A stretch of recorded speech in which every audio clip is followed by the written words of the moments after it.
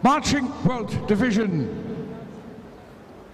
Aangetreden staat de trommelgroep West-Nederland uit Leiden, Nederland.